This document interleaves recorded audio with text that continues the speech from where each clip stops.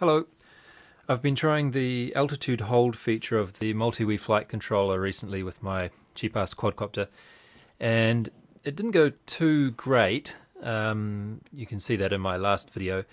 After I figured out what the meanings of the PIDs, or so-called PIDs, actually, it turns out that the D term of that is not the derivative of error as it normally is in a PID controller. But once I figured out what those numbers actually did, I managed to get the uh, altitude hold working a little bit better than in my last video, but still it wasn't really that good, not not as good as I'd hoped for. So I thought I might try upgrading the barometer on this board to see if that uh, made any difference. Now I haven't tested this yet. Um, it's been raining a lot here lately, so I haven't managed to get any time to go out and try it. But I thought I'd make a video to show how I did this because it's actually quite easy and you can just change, you can upgrade your barometer by just fiddling with a few lines of code in the MultiWii source code.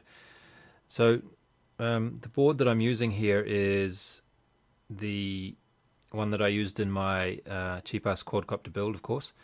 And this is an IC Station branded MultiWii flight controller, but it's a pretty generic kind of board. So you could probably do this with other flight controller boards that have um, onboard barometers or even, well, in this video I'm going to replace this barometer here. So that's uh, this is a BMP 085 barometer there.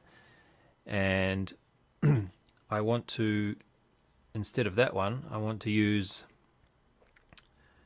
this one here. So this is going to be my upgrade.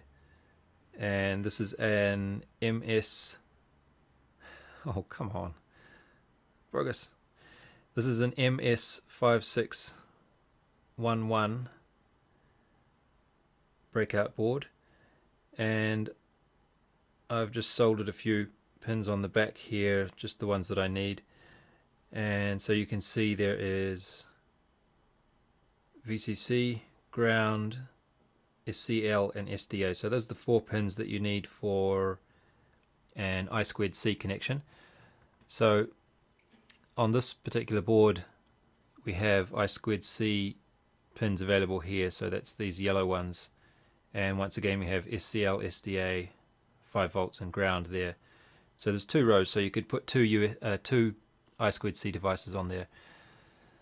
Um, so in the code we need to we need to disable this barometer and enable our new one.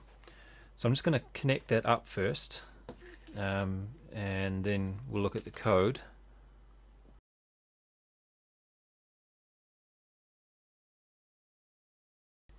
Okay, so that's connected up now, and this particular module has a nice little LED on it, so you can check that you've at least got some power coming into it.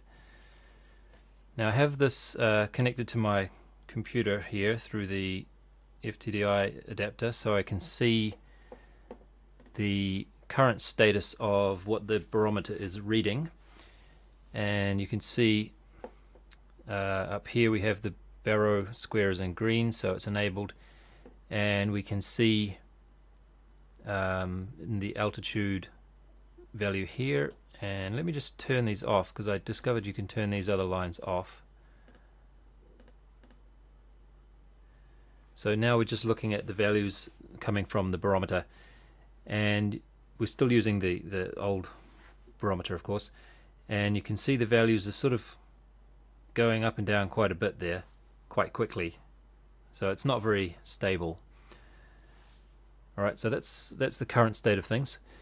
Now let's look into the MultiWii source code and see how we can change that.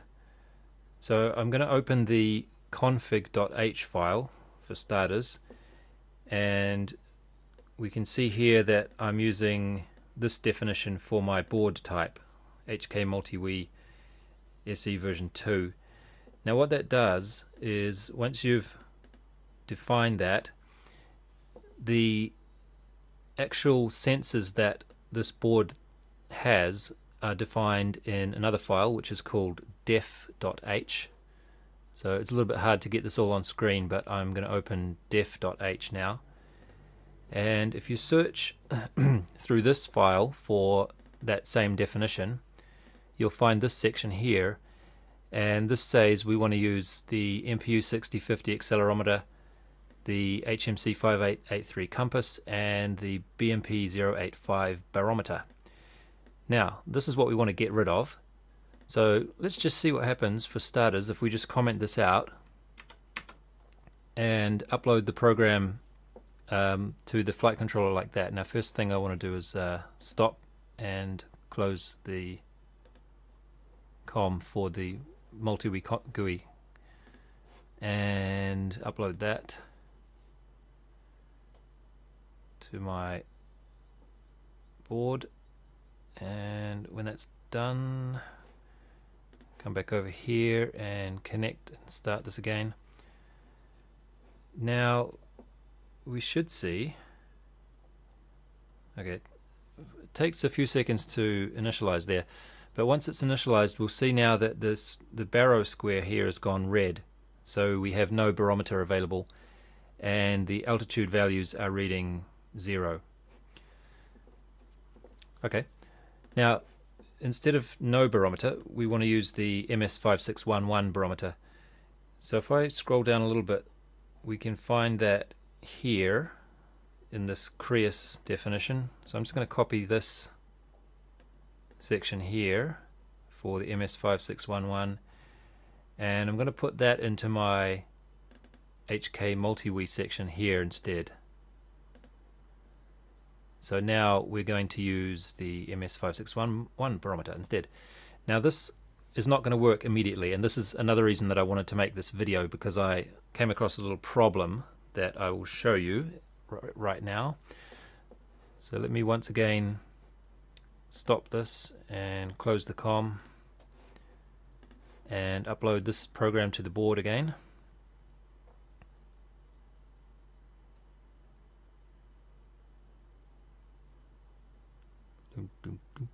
Okay, there we go. Now, when I reconnect, we will see now we have barometer enabled but we're still getting values of zero from it. So something's not quite right here. If it's enabled we should be getting some values other than zero. And I can of course move this around and lift it up and down and stuff but it's not having any effect on the barometer readings. So it took me a while to locate the source of this problem. But if we look a little bit further into what this define here does, this will take us to another file which is called sensors.cpp and if we look in there for that definition we'll find it here. And this sets up some functions to use to get the pressure readings from the barometer. And if we look up here right at the beginning we have this line here which defines the I squared C address that we want to use and this is uh, hex address 77 and if we look in this file for the BMP 085 which conveniently happens to be just above it I scroll up here a little bit more we'll see that the BMP 085 address is 077 in hex as well. Well, that's not going to work, is it? Because they're both trying to be used at the moment. So we didn't really disable the old barometer at all. So let's come back down here and take note of the line below that in the MS5611 section.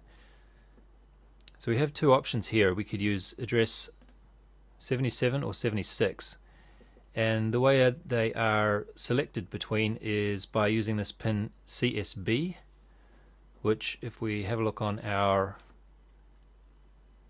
uh, where are we? This way. You will find at least on this breakout board this is easily accessible here by that pin there, CSB, so I've put another pin header on there to use. And we can connect that to either ground or to positive voltage to select whether we want to use I squared C address 77 or 76. So in this case we don't want to use 77 because we can't because the old barometer here on the board is fixed on there permanently. We can't remove it. So we need to avoid using the same address that that one's using. So I'm going to comment out the 77 line and uncomment the 76 line. And then to make that work properly, of course, we're going to have to connect the CSB to so 76 pin CSB is connected to VCC like that. Okay, let's do that. So I just need to connect that to VCC and as I mentioned before there's two rows of pins for I squared C so I'm just going to connect it onto this VCC pin there like that. Yep. And now I'll upload this again and this time we'll be using pin 76 for the I squared C. Uh, and we need to stop this. Close com. Oops. Upload.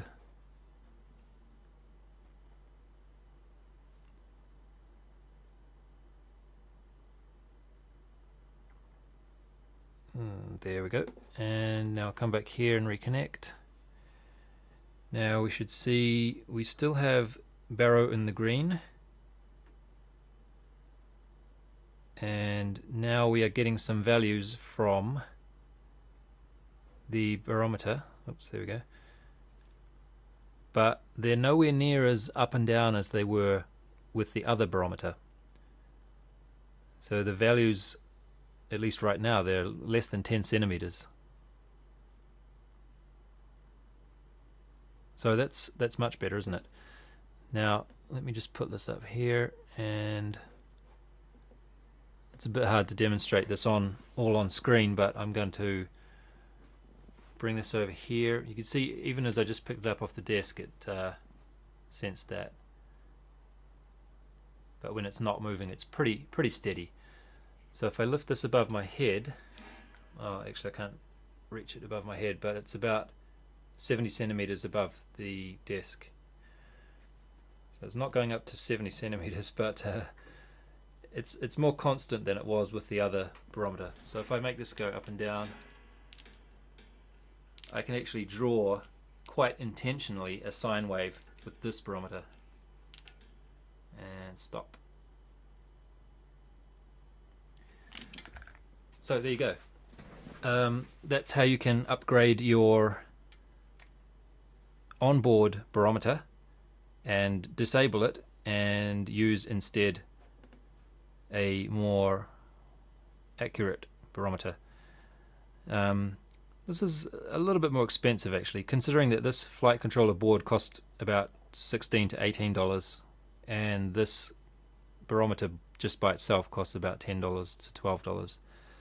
Um, it's it's getting a little bit more expensive, but still, um, I'm looking forward to seeing what difference, if any, this makes to the altitude hold that I've been trying recently. So anyway, I hope that was interesting, and uh, thanks for watching.